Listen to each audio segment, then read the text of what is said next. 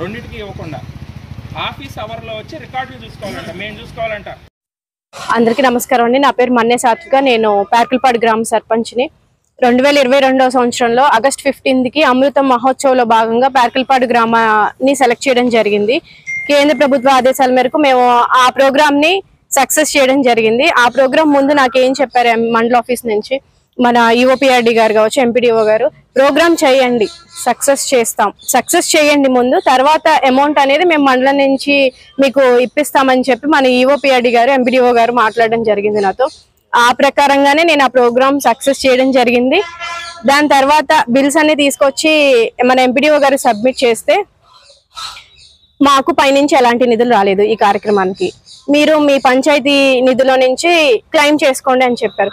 పంచాయతీ నిధులు జీరో అని చెప్పి నేను అప్పుడు ప్రోగ్రామ్ ముందు చెప్పాను వాళ్ళందరితో కూర్చున్నప్పుడు చెప్పాను గ్రూప్ కాల్ మాట్లాడినప్పుడు కూడా నేను ఈ విషయం చెప్తేనే మండలం నుంచి ఇప్పిస్తామంటేనే మేము ముందుకు వచ్చి చేసాము ఇప్పుడేమో మీ పంచాయతీ నిధుల్లో నుంచి క్లెయిమ్ చేసుకోండి అని చెప్పి వాళ్ళు వాళ్ళు మాకు చెప్తున్నారు.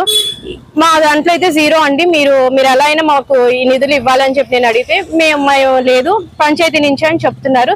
దీన్నే నేను కలెక్టర్ గారి దృష్టికి తీసుకెళ్తే వాళ్ళు డిఫరెంట్ డిఫరెంట్ టైమ్స్లో అర్జీలు పెడితే కలెక్టర్ గారికి వాళ్ళు మండలం నుంచి ఇవ్వండి అని చెప్పి అనౌన్స్మెంట్ ఇచ్చారు. మండలానికి పంపించారు. అయినా కానీ దాన్ని కూడా వీళ్ళు లెక్క చేయకుండా నాకు అమౌంట్ అనేది ఏమి ఇవ్వలేదు. ఇవన్నీ ఇలా జరుగుతుంటే ఎందుకు నాకు అనుమానం వచ్చి ఒక ఐదు విషయాల గురించి నేను సమాచార హక్కు చట్టం కింద సమాచార హక్కు చట్టం అప్లై చేయడం జరిగింది. సంవత్సరం అయినా సరే నాకు రిప్లై ఇవ్వలేదు దానికి. సమాచార హక్కు చట్టం అంటే మినిమం ఎన్ని డేస్ ఉంటుందో మీ అందరికీ కూడా తెలుసు. కానీ సంవత్సరం అయినా సరే నాకు రిప్లై ఇవ్వలేదు. దీన్నే నేను ఆర్టీఐ కమిషనర్ గారి దృష్టి తీసుకెళ్తే నైన్టీన్ త్రీ కింద అప్లై చేశాం అక్కడ. అప్పుడు వారి సూచనల మేరకు నైన్టీన్ వన్ కింద మీరు అక్కడ అప్లై చేయండి. అప్పుడు అప్పుడు ప్రొసీజర్ జరుగుతుంది అని చెప్తే అలానే చేస్తే నైన్టీన్ వన్ కింద అప్లై చేసిన తర్వాత ఐదు విషయాలు నేను అడిగితే మూడు విషయాలు సబ్మిట్ చేశారు. ఇచ్చారు. రెండు విషయాలు ఇవ్వలేదు. అదే రోజు నేను వారి దగ్గరికి వెళ్ళి మూడే ఇచ్చారండి. మిగతా రెండు నాకు రిటర్న్ కావాలి అని అడిగితే రిటర్న్ ఇవ్వాల్సిన అవసరం లేదు. ఇలా కూడా మీరు ఆఫీస్ పని వేళలో వచ్చి చూసుకోండి. ఇలా కూడా మేము ఇవ్వచ్చు. ఆ రైట్స్ మాకు ఉన్నాయి కావాల్సి వస్తే ఎవరైనా అడుక్కోవచ్చు. అని అడుక్కోవచ్చు అనే మాట ఒక ప్రజాప్రతిని ముందు అలా వాడొచ్చా? అది మీరే మీరే చెప్పాలి ఆ విషయం. ఇలాగా పలుమార్లు పలు సార్లు కూడా వారు నన్ను అవమానించడం జరిగింది. సర్పంచ్ గెలిచిన తర్వాత నేను చాలా సార్లు చాలా విషయాలు ఆవిడ దృష్టికి తీసుకురావడం జరిగింది. ఒక విషయం గురించి అయితే ఇరవై ఐదు సార్లు ఫోన్ చేశాను. కనీసం కాల్ కూడా లిఫ్ట్ చేయలేదు నాకు. కాబట్టి ఇలా ఇలా జరిగిందని చెప్పి మళ్ళీ నేను కలెక్టర్ గారి దృష్టి తీసుకెళ్తే నాకు ఎంక్వైరీ కావాలండి ఈ విషయం ఈ ఈ ప్రోగ్రామ్ గురించి అంటే జెడ్పీసీఓ గారిని అసైన్ చేశారు ఎంక్వైరీకి. జెడ్పీసీఓ గారి దృష్టిలో ఉంది ఇప్పుడు ఇది. టూ మంత్స్ అయింది. మనం జడ్పీసీఓ గారి దగ్గరికి వెళ్ళి కూడా నేను పలుమార్లు ఫోన్ చేసినా కానీ వారు ఏమంటున్నారంటే ప్రోగ్రామ్స్ ఉన్నాయి అది ఇది అని సేమ్ ఆన్సర్ చెప్తా ఉన్నారు. కాబట్టి ఇలాంటి అవినీతి ఆరోపణలు ఉన్న అధికారిని మీద చర్యలు తీసుకోకపోతే మా లాంటి విద్యావంతులు చా- వ్యవస్థల మీద నమ్మకం అనేది కోల్పోవడం జరుగుతుంది. కాబట్టి తక్షణమే వీళ్ళ మీద వీరి మీద రెండు మూడు రోజుల్లో యాక్షన్ అనేది తీసుకోవాలి. లేని పక్షంలో నా నేనైతే హైకోర్టుకి వెళ్దామని డిసైడ్ అయిపోయాను. ఈ రోజు ఈ మీడియా సమావేశం ఏంటంటే ముఖ్య ఉద్దేశం నేను మా పార్టీ కార్యక్రమాలకి కంచెంచర్లు తిరుగుతూ ఉన్నాను. అక్కడ నన్ను అడుగుతున్నారు అమౌంట్ తీసుకున్నారంట కదా మీరు అమౌంట్ తీసుకున్నారంట కదా అని నన్ను అడుగుతున్నారు. నేను ఎప్పుడు అమౌంట్ తీసుకున్నాను నేను తీసుకోలేదు కదా మీ అందరికి వివరణ ఇద్దామని చెప్పి ఈ రోజు ఈ మీడియా సమావేశాన్ని ఏర్పాటు చేసుకోవడం జరిగింది. ఒక లక్ష పదకొండు వేల ఐదు వందల యాభై రూపాయలు ఖర్చు అయింది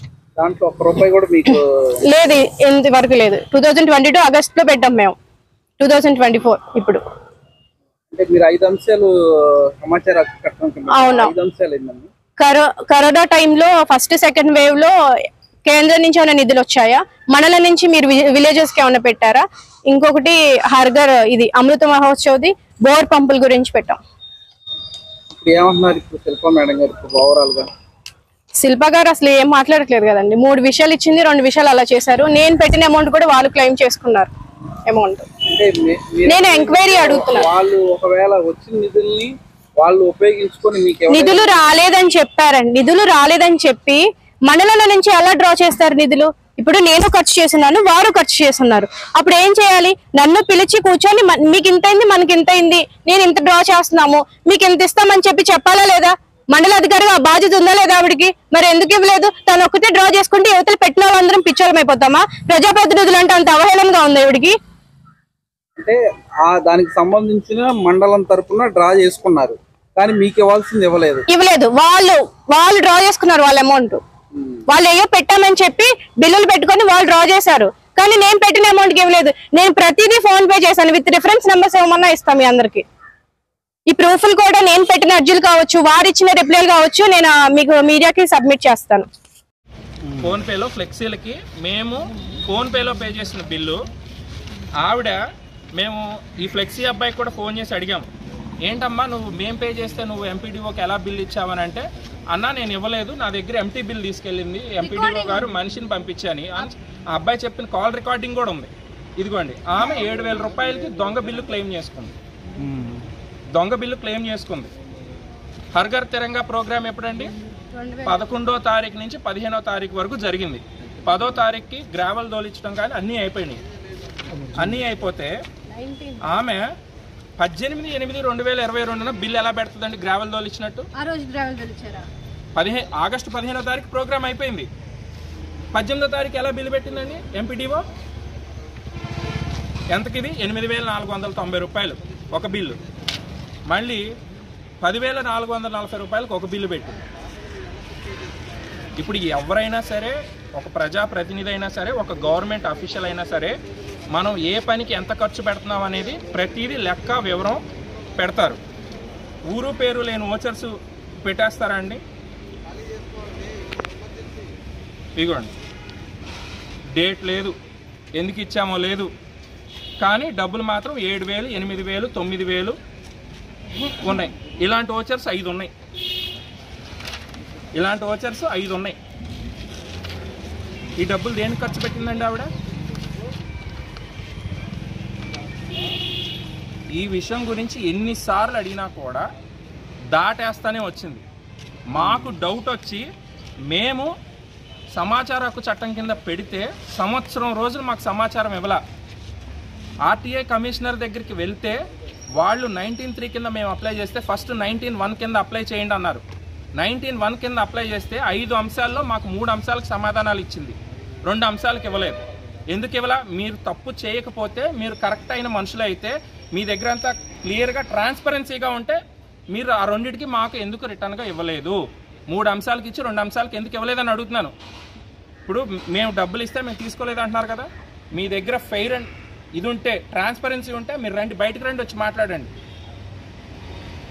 ఊరికే నిందలేయటం కాదు. మేము చదువుకున్న వాళ్ళమే. చదువు లేని వాళ్ళం కాదు. పోస్ట్ గ్రాడ్యుయేషన్ చదివిన వాళ్ళం మేము. అంత పిచ్చిగా అబాపూరిగా ఎవరి మీద కంప్లైంట్లు పెట్టాం. క్లియర్గా తెలుస్తుంది ఆమె చేసిన ఫ్రాడ్ అసలు ఇందుట్లోనే కాదు. చాలా ఉన్నాయి. ఇప్పుడు వెలుగు తీస్తే విజిలెన్స్ ఎంక్వైరీ తీస్తే చాలా వస్తాయి ఇప్పుడు ఆవిడ. ఆమె ఇక్కడ బాధ్యతలు చేపట్టిన దగ్గర నుంచి ప్రతి ఒక్క దాంట్లోనూ విజిలెన్స్ ఎంక్వైరీ జరగాలి. ఆమెది మొత్తం బయట పెట్టాలి. ఆ సమాధానం చెప్పింది. ఇంకా బోర్ పంపులు ఈ మండలంలో ఏ ఊర్లో ఎంత ఇచ్చారు ఎక్కడ మెటీరియల్ కొన్నారు ఎంత కొన్నారు వాటి బ్యాంక్ స్టేట్మెంట్లు బిల్స్ బుక్స్ అడిగితే ఇక ఇక వదిలేయండి. మీ డబ్బులు మీకు ఇస్తాం. అంటే వాళ్ళు గుర్తొచ్చినాయి మా డబ్బులని. ఇన్ని రోజులు సంవత్సరాల నుంచి గుర్తు రాలేదా కలెక్టర్ గారు ఇక్కడ జగనన్నకు చెప్దాం ప్రోగ్రామ్ జరిగినప్పుడు కూడా వారికి రిప్రజెంటేషన్ ఇస్తే ఎంటర్ కూడా చేయలేదు. ఆయన పేపర్ మీద ఎండార్స్మెంట్ క్లియర్గా ఇచ్చారు.